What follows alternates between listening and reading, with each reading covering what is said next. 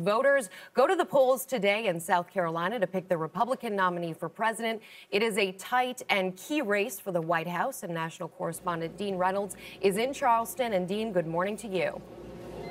Good morning, Rebecca. Well, since 1980, the winner of South Carolina's Republican Party primary has gone on to win the GOP nomination.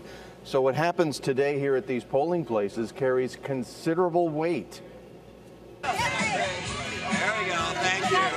If you follow the polls, the race is up for grabs here.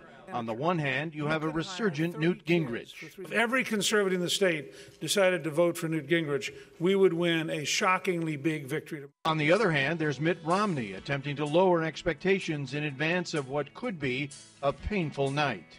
I think I said from the very beginning South Carolina is an uphill battle from a guy from Massachusetts. The two have battled in different ways, with Gingrich relying heavily on electrifying debate performances and Romney depending on an expensive ad campaign including highly negative attacks on Gingrich from an unaffiliated group of supporters. Newt was fined $300,000 for ethics violations. Those so called super PAC ads have been so dark and menacing, they've drawn fire from critics and comedians.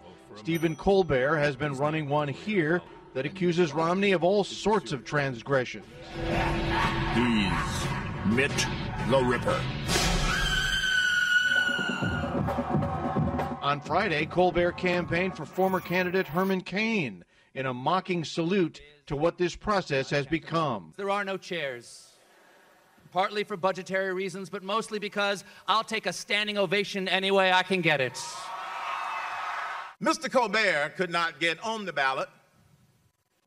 I could not get off the ballot.